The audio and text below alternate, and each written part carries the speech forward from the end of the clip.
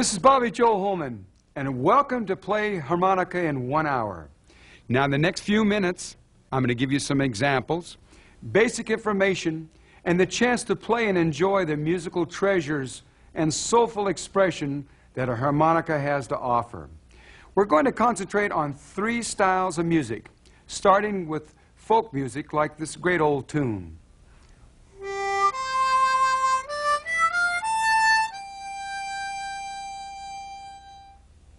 Now, of course, that was Shenandoah. Next, we're going to learn some country style playing.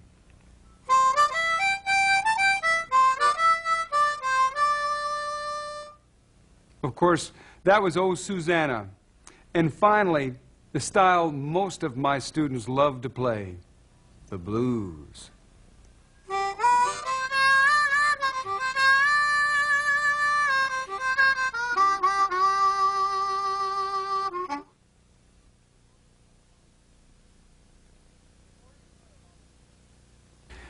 In order to play along with me on this video, be sure that your harmonica is a C harmonica.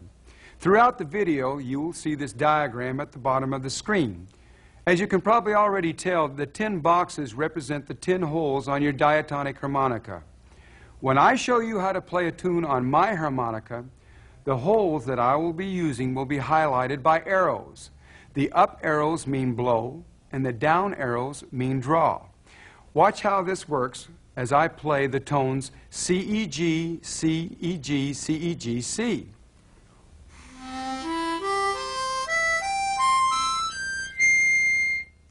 When I draw my breath through the same 10 holes, I'll get a different set of tones. D, G, B, D, F, A, B, D, F, A.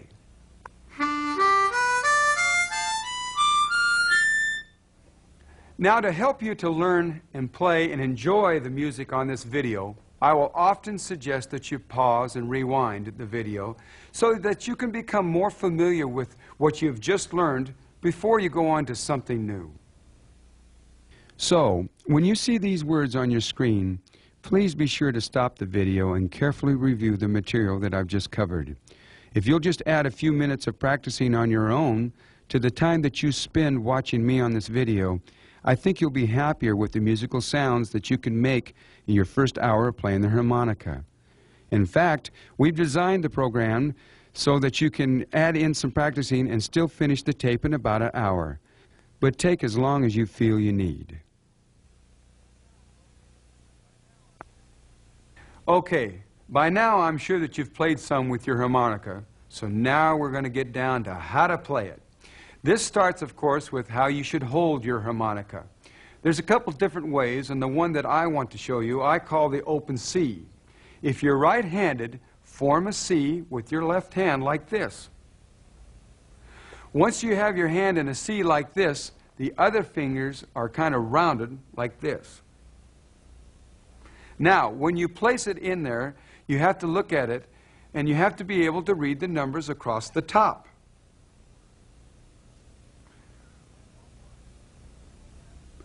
Now, don't worry. You won't have to read those numbers while you're playing your harmonica. The point is, if you can't see the numbers, your finger is too close to the edge of your harmonica.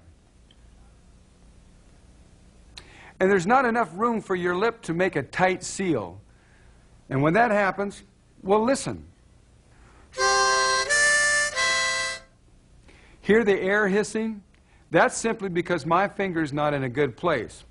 So I'm going to bring the harmonica out like this so I can read all the numbers. Now listen to the sound.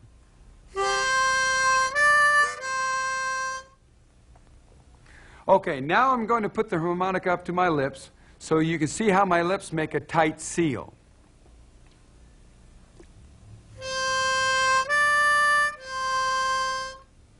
See, no hissing or leaks. Finally, Cup your other hand around your harmonica like this. And you have the proper way to hold your harmonica.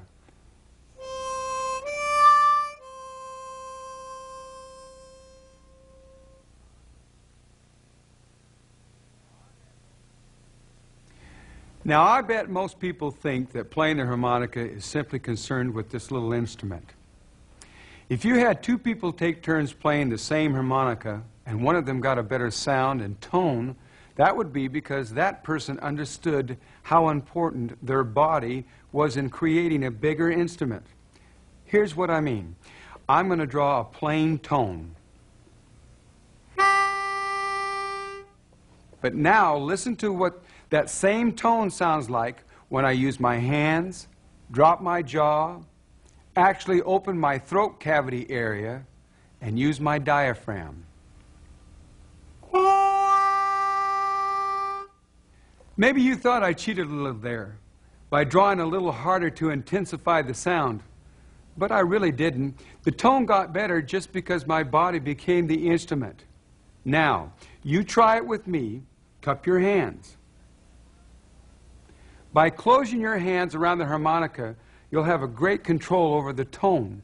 Think of your body as your instrument, from your hands down through your mouth, your jaw, your throat, your lungs, right down to your diaphragm. Okay, now keep that thought now as we draw on two together.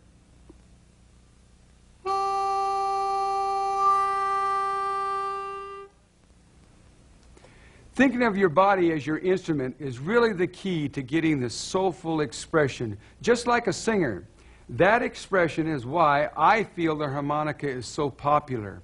Your feelings, what you have in your heart and your soul, can be projected through this instrument.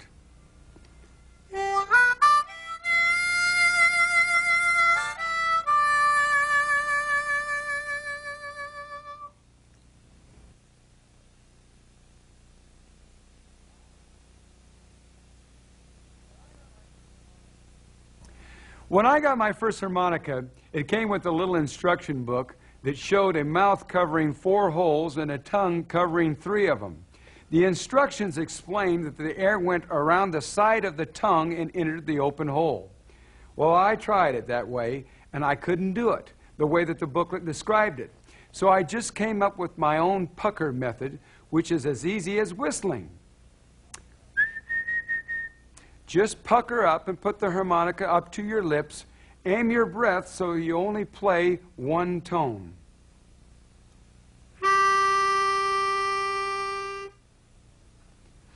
Now, this will take a little bit of practice, but if you work at it, you'll get it just like I did. Practicing your pucker in front of a mirror will enable you to get a nice clean tone. Then the next time you give it a try, you'll have a better image of what you're trying to do. Pause now and give it a try. Remember, pucker up and aim for a single tone.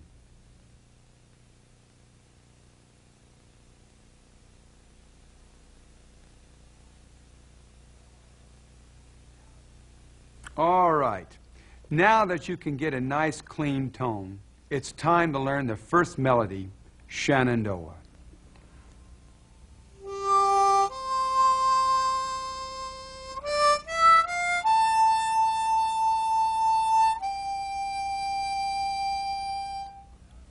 Beautiful, isn't it? Well, now you're going to play this song, and I want you to go about learning it the same way I always have learned new material myself. Dissect it. Take it one phrase at a time. In Shenandoah, there are five short phrases like that one.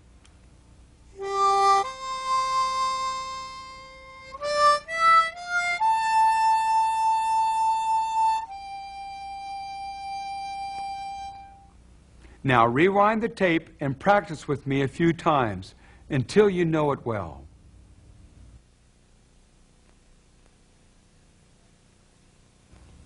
And here's the second phrase.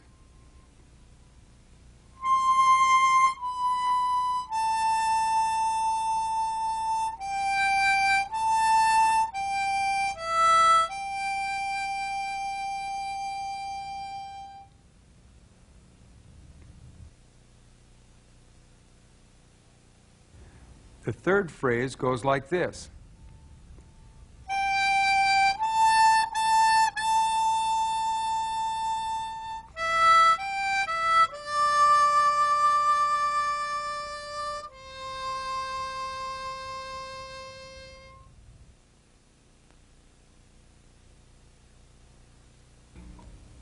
Here's the fourth phrase.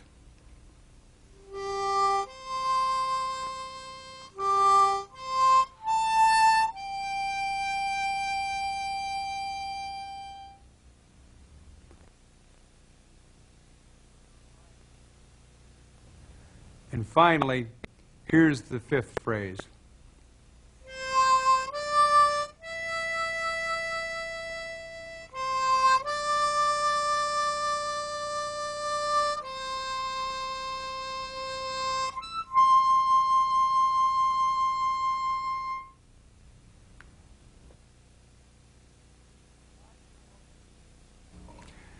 I sure hope you've taken the time to learn each of these phrases before you went on to the next one.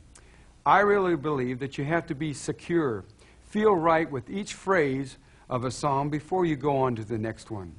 My philosophy is that a person playing the song should enjoy the music as much as the people listening to it. So if you only know 10 songs or even one song, but if you play from your heart and your soul, you will enjoy the music tenfold, and so will your listeners. If you haven't done so already, go back now and work on Shenandoah one phrase at a time. Then put them all together and really enjoy playing this beautiful folk song along with me and the band.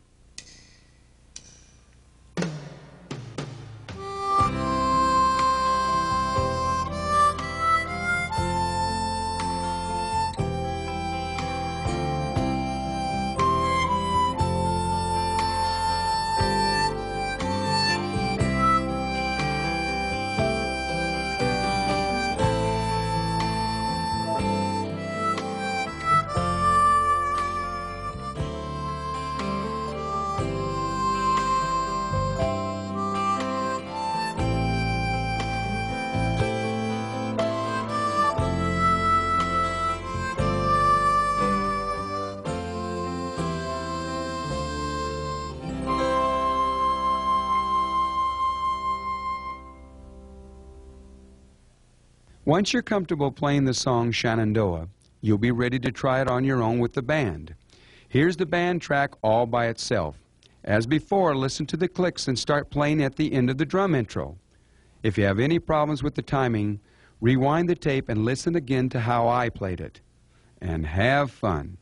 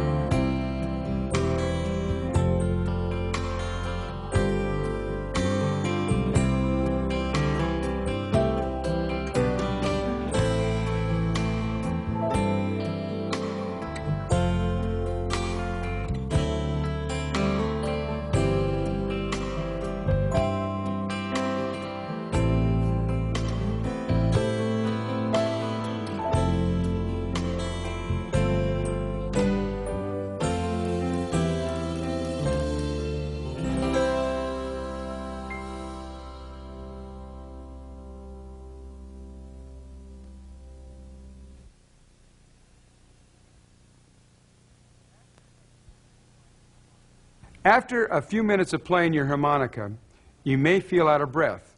Well, the problem may not be the lack of breath, but poor posture. When you're sitting down playing, like I am, you have to have your stomach relaxed, open, so to speak, not pinched. Just remember, whenever you're sitting or standing, good posture is essential because you're asking your body to do something that it's not used to. And so, like anything else, you have to work at it.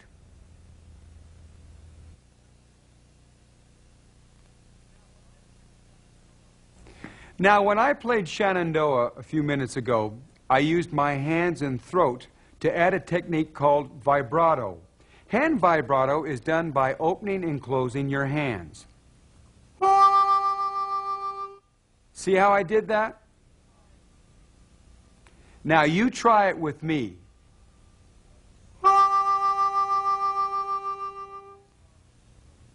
Now, throat vibrato is a little trickier. You use it on draw notes by going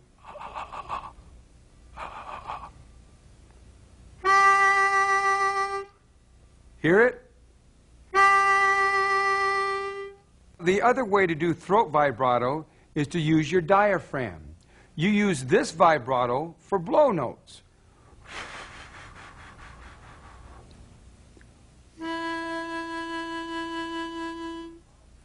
Now, let's combine the vibratos together on Shenandoah.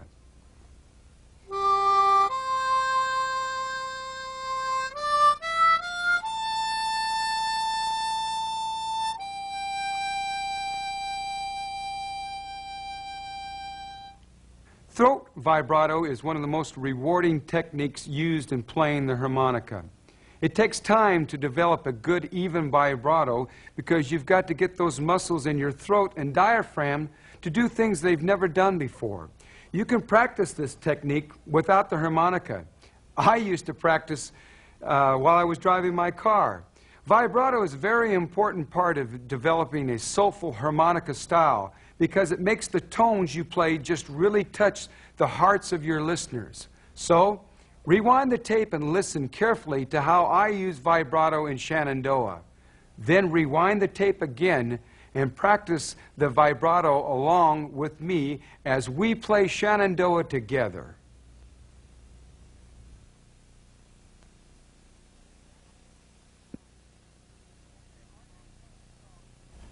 Okay, our next country song is an old favorite by Stephen Foster, which is perfect for using country style techniques. Oh, Susanna.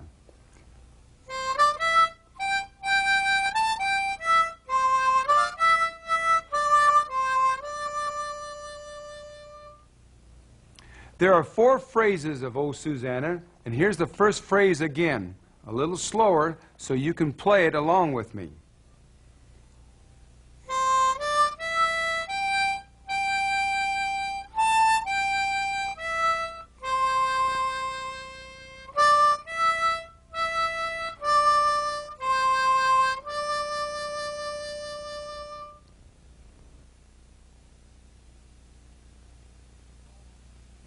Now, the second phrase is almost the same as the first.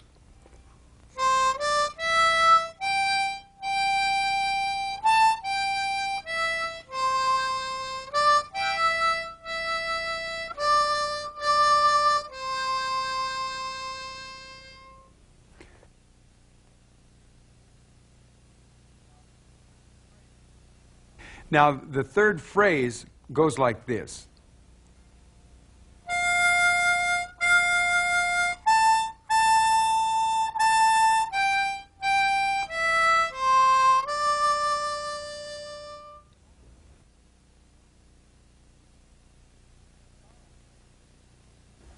The final phrase is the same as the second phrase that you just learned.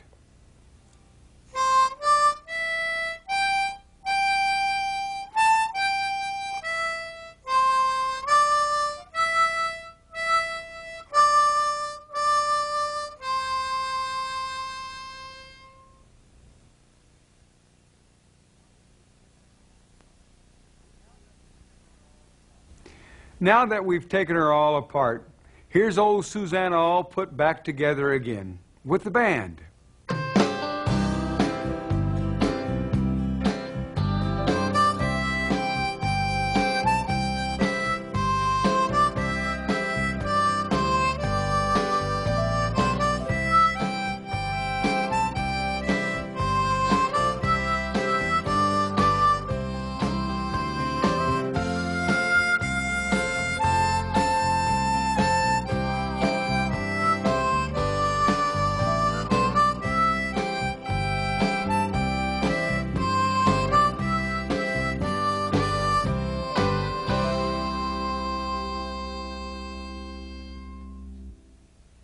So again, once you feel secure playing Old Susanna, you can play it on your own along with the band.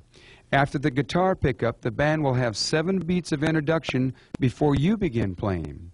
You can roll the tape back and check my performance if you need help getting the timing right.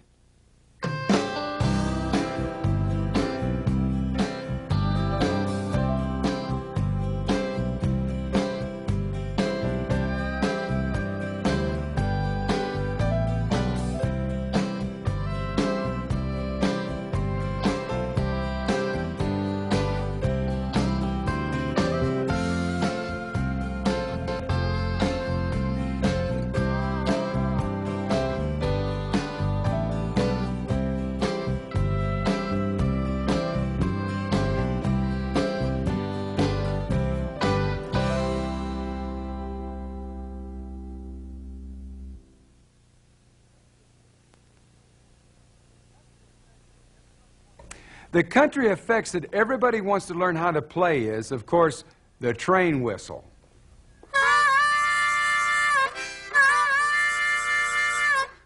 And the sound of the chugging train itself.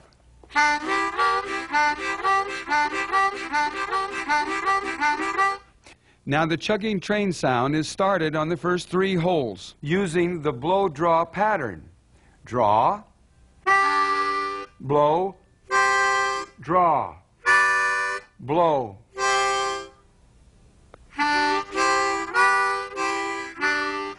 Put them all together with a little chugging rhythm, and you can hear the train a coming.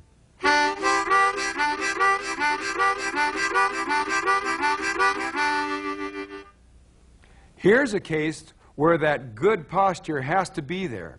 Your body can't be all tensed up because if it is, believe me, your train will run out of steam real quick.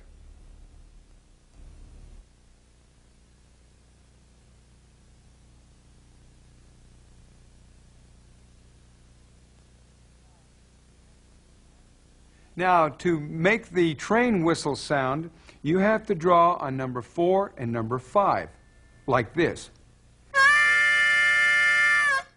One more time.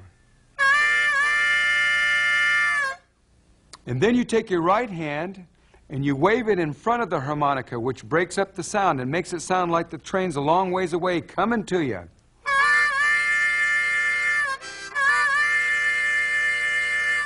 Can you hear it coming?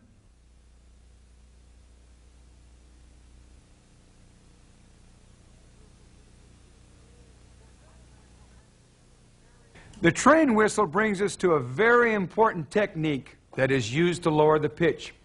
This technique is called tone bending. For example, I could take a G tone and bend it lower.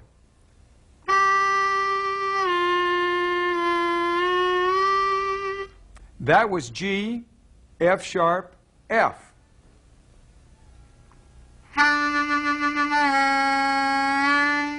That's D to D flat. In order to bend tones on the harmonica, you do three things. Draw with a little more intensity, move your tongue back away from your teeth, and let your cheeks kind of come in a little bit. What happens when you bend a tone is you're slowing down the reed's vibrations a bit, and that's what lowers the pitch. You see, the slower the, the reed vibrations, the lower the pitch of the tone. With practice, your cheeks won't need to suck in as much because you've learned to control the bend with your tongue.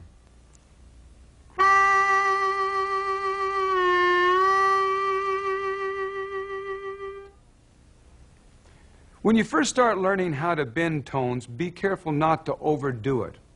A lot of my students start off by drawing too hard, and of course, they kill their reeds and ruin their harmonica. So relax and don't overdo it.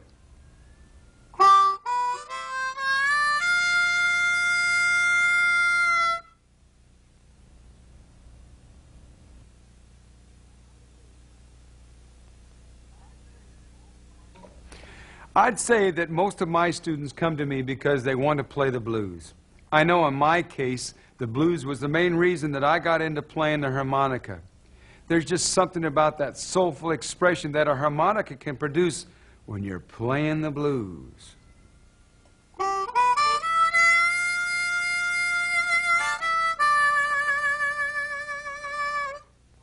Whenever you hear harmonica players talking about the blues, you'll hear the terms straight harp and cross harp. Straight harp simply means that you are playing in the natural key of your harmonica. So far on this video, everything that we have played has been in straight harp because it's all been in the key of C and we're using a key of C harmonica. Now, it's possible to play the blues in straight harp, but to me, that's a very limiting way to do it. You see, there are only a few tones that sound soulful enough for the blues when you play straight harp. That's why most of the time the blues players use cross harp. Cross harp simply means that you're playing your harmonica in another key than its natural key.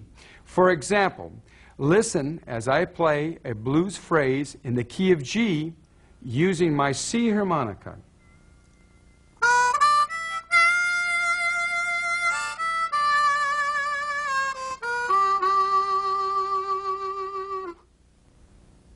This diagram shows you the key of harmonica that you would use to play cross harp with any one of the 12 major keys for blues.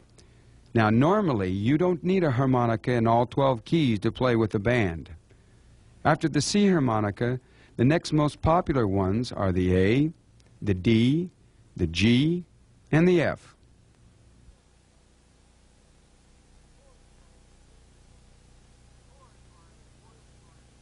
Chords are an important part of music. To play a chord, you simply play three or four tones at the same time. One of the great things about playing the blues is that it's based on just three chords. Here, I'll show you what I mean. These are the eight tones that make up the key of G. Now, to play the blues, the first chord that you need is the G chord. The starting tone of each chord is called its root, and the rest of the chord takes shape above this tone. So, to play a G chord on the harmonica, all you have to do is draw on the holes 2, 3, and 4. Here, try it with me.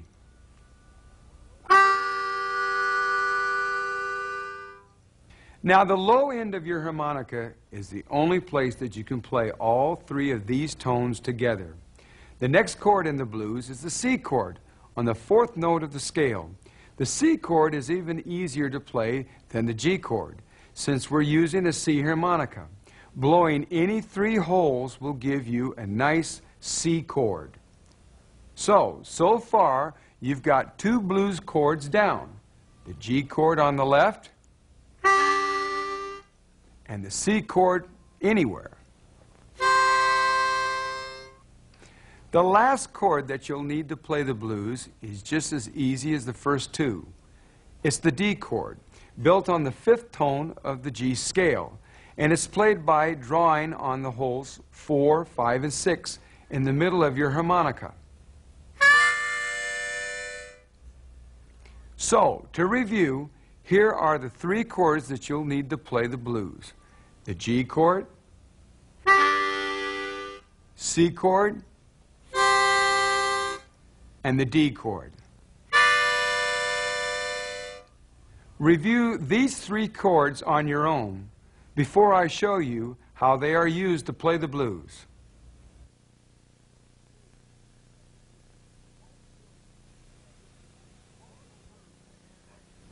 Most blues can be played using the three chords that you've just learned. Here's how it works. You start off with the G chord. And then you change to the C chord. Then you go back to the G chord. Now you go to the D chord. Followed by the C chord. And finally back home to the G chord.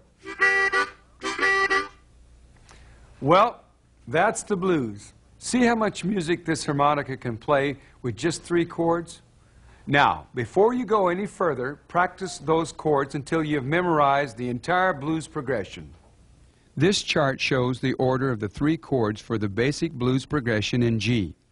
You can refer back to this part of the video whenever you need to review it. Later, you may play the blues with people who will add more chords in between these, but this is the basic chord progression, the one that all the others are based on.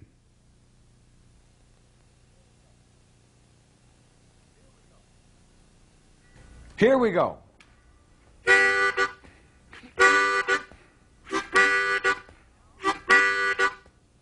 Now, all I did there was a shuffle rhythm to the G chord. Nothing tricky.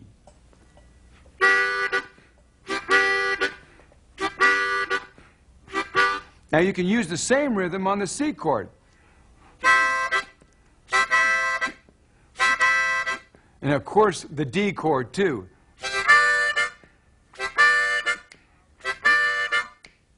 Now remember that these three chords and the progression that you've just learned are the foundation for the blues.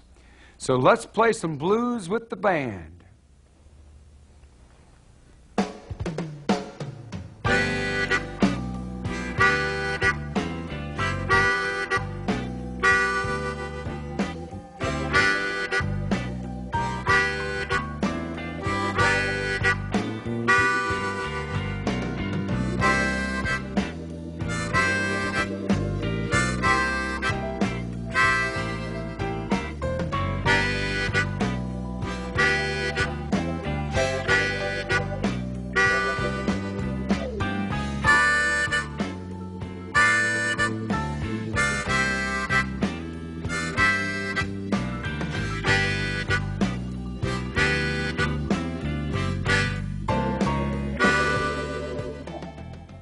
Now that you've got the blues chord progression under your belt, practice the chords using the shuffle rhythm on your own with the band.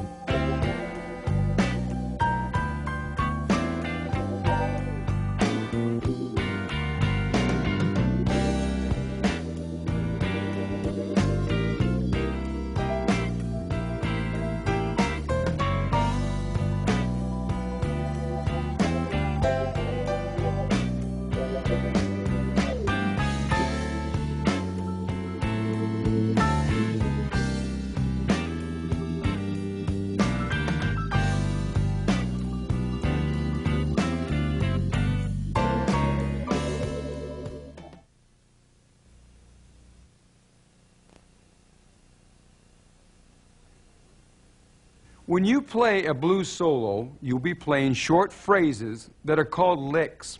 These are closely related to the chords that you've just learned. For example, here's a lick that works with the G chord.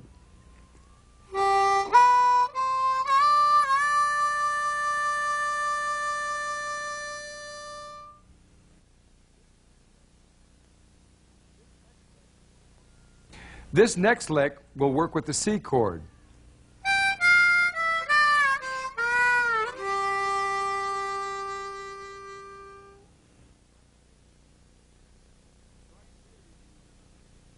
Right here, you remember the G chord comes back and you play the first lick again. Now, here's a lick you can use on the D chord.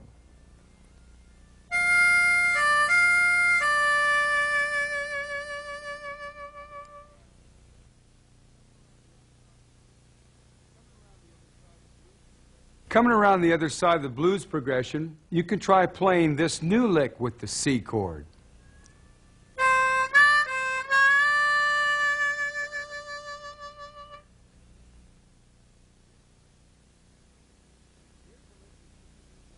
And here's a lick that you can use on the G chord at the end of the progression.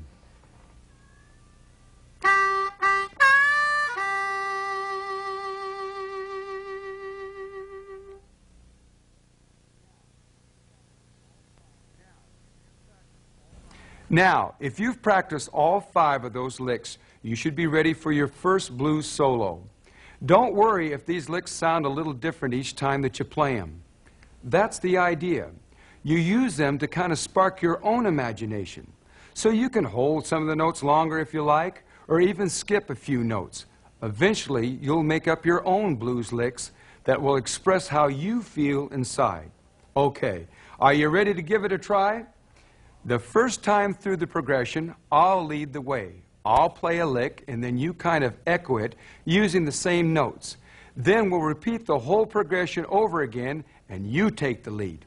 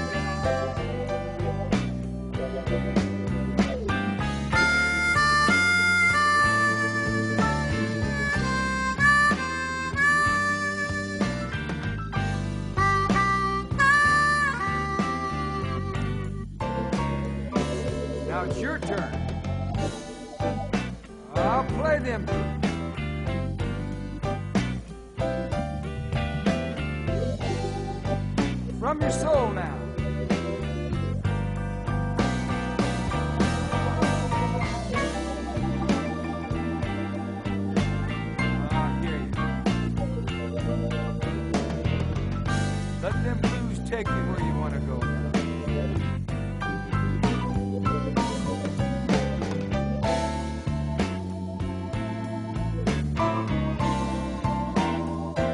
Now I'm going to play with you.